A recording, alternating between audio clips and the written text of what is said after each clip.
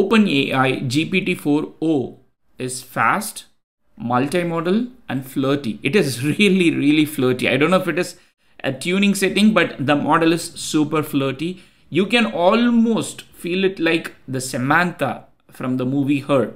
Um, okay, so, so take, a, take another look. Uh, that makes more sense. Ah, there we go. It looks like you're feeling pretty happy and cheerful, with a big smile and maybe even a touch of excitement. Whatever's going on, it seems like you're in a great mood. Care to share the source of those good vibes? Yeah, no, uh, the reason I'm in a really good mood is because we were doing a presentation showcasing how useful and amazing you are. Oh, stop it. You're making me blush. If you start talking to it, I'm not sure how much it is going to mess up your brain, but it is going to happen. So, OpenAI made three important announcements today. The first one is they have introduced a new user interface for desktop computers, like uh, not the web interface, but actual software that you can put on Mac and run. The second thing is they have introduced this new model called GPT-4o. And third one is they have introduced GPT-4o for all the free chat GPT users. The paid users are going to get better rate limit. The free users are still going to get access to the best in class model that they have got. We're going to see about GPT-4o and first I'm going to start with the flirty model. So you can see here, uh, this is a demo that they have got and I'm going to just play it for just a bit. Hey there, it's going great. How about you? I see you're rocking an open AI hoodie. Nice choice. What's up with that ceiling though? Are you in a cool industry style office or something? Well, you you might have guessed it like uh, the choice of the voice the emotion of the voice uh, the way it speaks is quite flirty but it is absolutely good uh, it's one of the best text to speech systems that i've seen and uh, i'm quite happy for this announcement because anytime openai makes any announcement uh, it actually pulls the entire industry forward or pushes the entire industry forward i don't know how do you want to see it and uh, we are going to see a lot of open models coming soon and uh, they're going to see this benchmark to beat but anyways meanwhile the new model is called gpt-4o uh, there are a bunch of things that this model is pretty good at one of the thing is if you use it within the ChatGPT interface, the latency is super minimum. Um, I mean, I even joke that it probably killed Groq, G R O Q. Um, and but jokes aside, this is according to OpenAI, it's a truly multimodal model. It doesn't I'm not sure whether it is like the Gemini one truly multimodal or whether it is still they are stitching things together. But let's consider take what OpenAI said and then say this is a truly multimodal model one of the key highlights of this model is its latency. It is pretty fast and it can process videos. I'm not sure again how frequently it takes photos of the videos, but it can process videos and it does a very good job in uh, explaining a lot of things that it can see. And we saw a couple of good demos. For example, one of the things that you can see is it can understand 3D objects.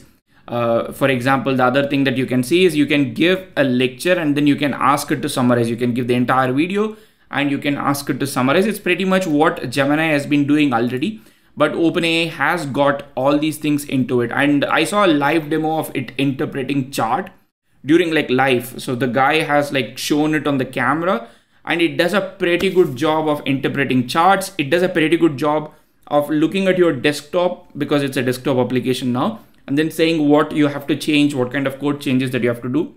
I think it is going to be excellent for uh, teaching and um, for a lot of other things like for example language translations. If you see audio translation performance this higher is the better. You can see gpt-4o is the best um, among these classes like even when you compare it with gemini or seamless from meta ai and if you talk about audio asr performance automatic speech recognition performance the lower is better. It is better than the largest whisper whisper v3 and in terms of text evaluation, you can see kind of a mixed result.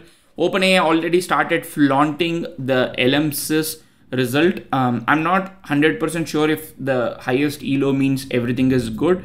We're going to leave it for some time and then see more uh, votes to come in. But for now, OpenAI claims that this is one of the best model. One of the other reasons I am quite excited about this model is because they have improved the tokenization. So one of the biggest complaints that I have had about these models are these models are quite expensive for you to use it. For example, Indic languages. If you were to use it in Tamil, Telugu, Hindi, Malayalam, most of these Indian languages, they don't have this romanized token like English. So the tokenizer takes more tokens to understand this language. And because these LLMs are like token based costing, it naturally increases the cost. But OpenAI has addressed this at least like partly. So they have said that Gujarati is going to take four times lesser tokens, Telugu is take going to take 3.5 times lesser tokens, Tamil is going to take 3.3 times lesser token, and Hindi, Urdu, Arabic, Persian, Russian, and you can see all the other languages, which is quite encouraging for anybody who's trying to build anything other than English. And you have got a lot of other languages. OpenAI also claims that the latest model supports or they have expanded it with 50 languages that has got like the coverage of 95% the global population of what humans talk this model is going to be available one on ChatGPT free interface. I just cancelled my ChatGPT Plus subscription, so I'm not upset anymore. And it is also going to be available in the API and Playground and uh, API, and it is going to be 50% cheaper. That's what OpenAI is saying. So it is going to be 2x faster, half the price, and 5x higher rate limits when you compare it with GPT-4 Turbo. So OpenAI says that Sam Altman actually wrote a blog post saying that we are a business and we will find plenty of things to charge for. And that will help us provide free and outstanding service to hopefully billions of people. Maybe this is the justification why they are charging while they're a non-profit. But anyways, I'm happy that they're giving something for free and I, I, I believe this is going to transform education a lot.